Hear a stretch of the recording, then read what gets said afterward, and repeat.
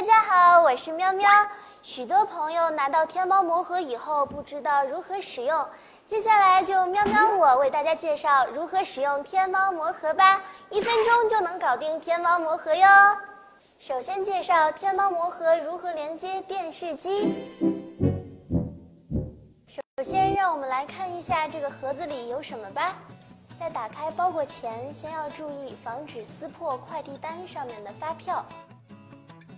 接下来，让喵喵介绍一下天猫魔盒里面的成员。您将看到一个天猫魔盒的主机，一个遥控器，两节七号电池，一条电源适配线，一条 HDMI 高清视频线，一份说明书。一张天猫魔盒的慰问卡，以及一份三包凭证。是天猫魔盒的自带遥控器，这是电源键，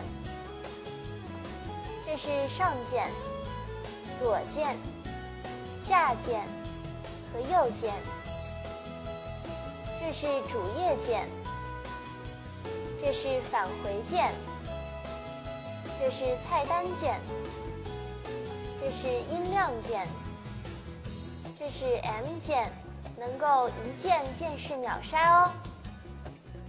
这是天猫魔盒的 AV 接口，用于没有 HDMI 接口的老式电视机。这是天猫魔盒的恢复出厂设置的小按钮。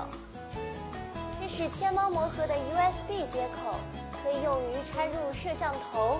鼠标、键盘或者是游戏手柄等等。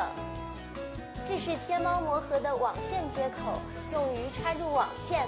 但是天猫魔盒同时自身也支持无线 WiFi 哦。这是天猫魔盒的 HDMI 接口。这是天猫魔盒的电源线接口。将电源适配线插入电源接口，一定要注意的是，千万不要插错哦。这是 AV 接口，这是电源接口。将电源适配线的插头插入插座，将 HDMI 视频高清线插入天猫魔盒背部的 HDMI 接口。